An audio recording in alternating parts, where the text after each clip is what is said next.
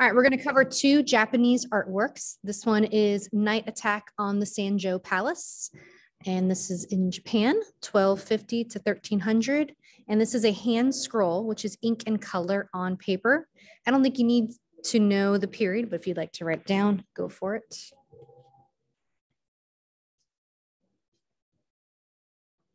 All right, so what we're looking at here, College Board gives us two images. The one on the top is the whole scroll that is rolled out. And then on the left, you're looking at this piece that is the end of the scroll. And so the College Board wants us to be able to identify that image as well. So for form, this is a continuous narrative that reads from right to left. So remember, continuous narrative has probably um, a figure. I think it's going to be the emperor, the retired emperor in this cart in this cage or carriage. And this is going to be repeated throughout. So since it's repeated throughout with no barriers, it's a continuous narrative. This is a 23 foot long scroll that would be rolled up and then unrolled as you view it. All right, context, what's happening at the time. This reflects the beginning of shogun rule and the samurais in Japan. You don't need to know the year, but we're going to compare it to some other years. That's why I have it on there. Uh, this is military warlords holding the power. And we're going to see this reflected in art and literature at this time. It's going to shift and start to emphasize the honor and the bravery of the warrior. We're also seeing this at Todaiji when we looked at those Nio Guardian figures. Here's a close up of their fierce expressions on their face. So that's why I had the year up. So 1185 is when the samurais have control. Nio Guardian figures are made in 1203, and then the night attack of Sanjo Palace is 1250. So you can see those ideas being reflected in the art at that time. All right, back to Todaiji. So Todaiji was created or was made in the capital. And that's where it is now, but Nara is no longer the capital. So at the time when Todaiji was made, it was made during the Nara period, which was also the capital and so that earlier Japanese work is really influenced by what they're having, what they're seeing in China. Um, so then the imperial or the royal family, they move from Nara to Kyoto. It's not that far. I looked it up, about 40 minutes. And then the new royal court in Kyoto develops a distinctive Japanese style called Yamato-e, which means Japanese painting. All right, here's the scroll. And we're going to go from right to left. So you kind of have singular figures and then a carriage. And then it starts to go into this mass crowd of people. And they are storming the palace in the middle of the night, about 2 a.m. And then here's where you have the retired emperor. It's been described as a cage or a cart. Then you have them in the palace. The palace is burning. More chaos. There's supposed to be bodies down below. These are women fleeing up here in their long robes. And then as you move out to the left, you see the carriage repeated. And then again, we end with singular people, samurai, warriors. And the was almost interacting with the text. All right, so overall, this is depicting war and violence, right, in a really chaotic way. This is more specific. So it's samurai warriors in a surprise night attack, setting fire to the palace and capturing the retired emperor in a cage who is shown throughout. This is also depicting a historical event. This happened about 100 years before this scroll was made, and it's a feud between two family clans. All right, and we're going to watch this video. Video is from the Museum of Fine Arts in Boston, where I believe you can see the scroll today. On the Sanjo Palace, these scrolls uh, relate almost 100 years later events that happened in the 12th century. It is probably one of the most powerful battle scenes you could imagine anywhere. And for me, talking about them is a really emotional experience because it really describes the horrors of war in a very vivid way. You read a hand scroll from right to left. Typically, you would be holding an expanse, just what you can hold right in front of you between your two hands, and you, as the viewer, are controlling it. And the activity starts rushing from the right hand side to the left hand side of the scroll. But the chaos of it you get because they're layering these figures one on top of another. You get the whirring of the wheels and people being caught up in those whirls, the spokes as it goes by. You see that motion in it. And then you have these countervailing forces where people are coming from the left. And so he structures this event, which is capturing the abduction of the retired emperor and his younger sister by these upstart military warriors. They lead him out of the palace, which you will eventually see at the other end of the scroll. But in the process, they set the palace on fire. The women of the palace, who wear these incredibly heavy robes, are trying to flee. They don't want to be raped. So they jump into the well and they suffocate each other. It's a great contrast between the aristocrats who are done with these very fine features, almost no expression on their faces, and then these upstart warriors who are animals and they're given animal like faces. And you see them cutting other people's heads off, there is a very conscious attempt to know what you need to see and what is the focal point and how to, in these crowd scenes, where to create these tensions. And um, I, I, don't think there's any other work of art like it. あそのあのスピードはもちろん違いますけどあのアニメーションと絵巻というのはそういう意味で非常に似たあ性格を持っています。あの絵巻物を繰りながら見れば見る人はそこにいる人物だとか建物だとかそれそういうのが少しずつ動くというそういう印象を持ちます。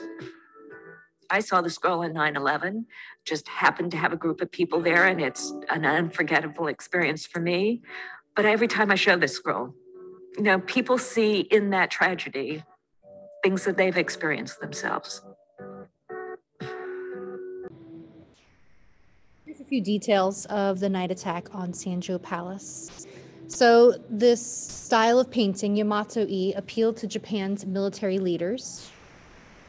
Um, they're also giving a bird's eye view, you can also call it an aerial view of the palace. The roof has been removed so we can actually see the chaos that's happening inside the there's no real meditative introspective landscape for us to calmly look at right? This is very different from earlier chinese painting like fan kuan's travelers among mountains and streams. So this is really different in that it's packed with action. And then where the artist is giving the most attention they're not modeling or giving um, volume or mass or shading right they're really focusing on the use of line with using all those contour lines. I would call this a weighted contour line in my art class, going from thin to thick, right, with the contour lines. But they're also giving a lot of attention to the armor and the weapons, more so than other parts of the figures. One more detail. Love the little splatter of blood coming up here. And then the fire, right? This really stylized depiction of this swirling fire with splatters on it as well, splatters of ink and paint. All right, so what artworks can we compare this to? Um, we talked in class about Hunefer and this being a continuous narrative. A big difference would be that the, um, the Hunefer piece, the scroll, is depicting beliefs of the afterlife as opposed to a historical event. And then Trajan's column, right? That's a very long, continuous narrative that is spiraling up this column. That's a relief carved out of marble.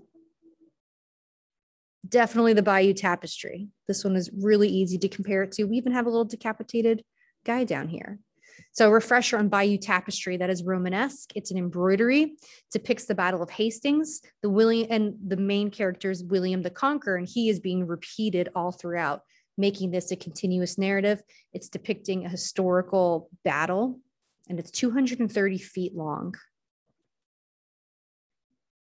All right, next artwork is White and Red Plum Blossoms by Ogata Korin. 1710 to 1716. So we're about 500 ish years later, still Japanese art. This is ink, watercolor, and gold leaf on paper, but this is actually a screen. Uh, the materials say it's on paper though. So this is painted on a pair of two panel folding screens. I don't think we need to know the size, but I just thought it's kind of good to see how large this is. And the content and form, the meaning and what it's depicting is really similar. So there's a stream in the center that is narrowing in the distance. That's a really easy way to show depth and perspective. So artists show going back into space in different ways. And I think the easiest way is things getting smaller as they go back in the distance. All right, there are stylized curls that's on the stream. So here's a picture that's really brightens. and that's reflecting or representing a swirling current, kind of the movement in the water by creating that pattern of swirls. The way the artist is doing this is a technique where they're dipping wet ink or paint into this layer of wet paint. So that's what happens when you're when it's being dipped in there, kind of swirls out. He's doing the same technique on the trees. It also reminds me, if you think of Wangechi Mutu's Preying Mantra and the way the, the modeled skin looks on the female figure, I think has a similar effect. Context this would have appealed to luxurious tastes of the aristocracy. And then I guess function this was made for a feudal lord to be in their house. Can easily relate this to the screen, the screen with Siege of Belgrade and hunting scene. Also, as far as what we're looking at, it's very chaotic, looks like battle, right? The siege of Belgrade. So this would easily relate that back to the night attack in Sanjo Palace. All right, so this, you don't need to write this down in your notes. This is for the screen with Siege of Belgrade and hunting scene. We haven't talked about in a while, but this screen was inspired by Japanese folding screens. And this is called a biombo. It's a folding screen in Spanish. This is when the New World is looking to Japan for inspiration. There's a lot of goods being brought in and traded, including lacquerware boxes, ivory goods, and folding screens. And this would have been placed in Viceroy's palace in Mexico. So, again, for the aristocracy, the upper class, the wealthy, the powerful. All right, back to what we're seeing being depicted. You have the stream, and then on either side, so flanking the stream, are two plum trees. On the right, you have one with red blossoms, and this one's being described as being more youthful. And on the left, you have one with white blossoms, and that one I have read as being described as older. And then in the background is gold. Definitely need to mention that there's use of gold leaf that is on the paper. And we're going to see gold leaf again when we talk about Gustav Klimt when we cover unit four. And then Gustav Klimt is really inspired by Byzantine. That guy. All right, but in common, these both have the use of gold leaf, therefore creating these shallow spaces with the gold leaf. They're also both combining abstract, right? All the um, patterns and swirls and gold, along with something representational. So in Gustav Klimt, the way he is painting figures on the kiss and on this artwork, it's really realistic with the depiction of the facial features and the skin tone. And then abstract with the backgrounds, the patterns, the shapes, the colors. Same thing here. I think these trees are pretty representational. That's what they would look like. And then abstract the depiction of the stream, the background. All right, if you Google the term Rinpa school, um, you can write down Rinpa school or Rinpa painting style, but this is an example of what comes up. So what is the Rinpa school? What are the characteristics? What do these all have in common? Right, really simple. It's very much nature-based, all using this gold leaf. All right, so the word Rin comes from our man Ogata Korin from his name, and then Pa means school. So when you think of school here, it's not a school you would go to to learn how to paint like Korin. It's more of a following. Think of a group of fish following along in a school. So it's a group of artists that are all painting in this similar way. All right, this I got from the Metropolitan Museum of Art website. It says Rinpa is a bit of a min misnomer in that the term identifies artists who worked in a particular style, sometimes together, but did not form an organized or hereditary school. Although Rinpa traces its origins to original artists, it derives its name from Ogata Korin. Korin and his brother were members of a Kyoto family of textile merchants that served serviced samurai, a few nobility and city dwellers. Distantly related to those original artists, the Ogata family owned a number of objects made by the original artists, which Korin studied carefully. So it's talking about how he's inspired by other artists and he's working with textiles and creating prints to go on textiles. So working in vivid colors or ink monochrome, here's an example of monochrome, one tone, often on gold ground, the prolific and versatile artist developed a painting style that was more abstracted and simplified than the compositions of those original artists, his predecessors. Korin used his decorative and bold designs not only to ornament or decorate paintings, but also for textiles, lacquerwares, and ceramics. All right, so we should be able to compare these two artworks together. There's a really big gap in between these.